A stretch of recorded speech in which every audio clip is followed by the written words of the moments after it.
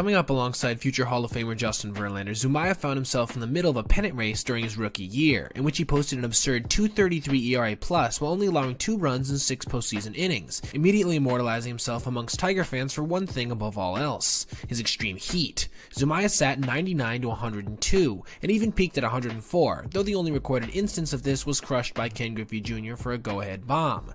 Regardless, Zumaya continued to dominate for the rest of his short five year career, posting a 305 ERA 23% K rate, and 147 ERA+.